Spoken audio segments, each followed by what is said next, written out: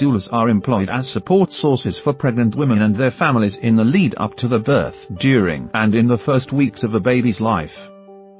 They are also known as birth companions, birth coaches or post-birth supporters. The inclusion of a doula in birth planning is a growing trend amongst young women now, although the practice dates back to ancient Greece.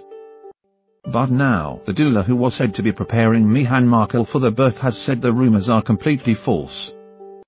Mother of three Lauren Mishcon told the Jewish Chronicle, It's the result of a Facebook joke on my personal page and a very tenuous connection between my husband's grandfather and Princess Diana the more I deny it. The more people believe it. It all started when Lauren chimed in on a chat on the Doula UK members website saying, I'm busy in the spring, I could not possibly say.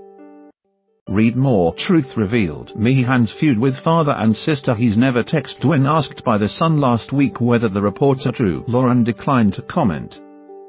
Her tenuous royal connection that she spoke of is her husband, Oliver Mishcon, who is the grandson of Solicitor Lord Mishcon, whose law firm handled the divorce of Princess Diana and Prince Charles. However, this doesn't mean Meghan won't be using a doula at all. It just means Lauren might not be the one employed co-a spokesperson for Doula UK told Express. Doula UK is delighted to hear that the Duke and Duchess of Sussex may have chosen to have the support of a doula for the birth of their baby. Read more how pregnant Duchess friends are concerned for baby amid bullying Heather due to privacy reasons. This cannot be confirmed.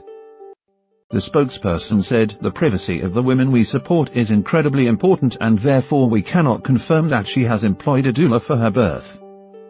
We believe that all families preparing for the birth of a baby deserve a doula and would feel immensely proud if Meghan, who is such a wonderful role model, has sought a doula at this exciting time. Meghan, who has always been vocal about her support of women's rights, will be likely to follow her instincts when it comes to planning such a personal and precious time of her life. Read more. See how Meghan Markle's bump has grown over the months in pictures. The Duchess has also been reported having acupuncture during her pregnancy. With sources claiming acupuncturist to the start Ross Barr has had the honor. According to Vanity Fair, a source close to Mr. Barr said, Meghan has been having regular acupuncture sessions to help her unwind and relax. It's brilliant for the blood circulation and boosting blood flow to the uterus. She plans to use acupuncture right up to her due date.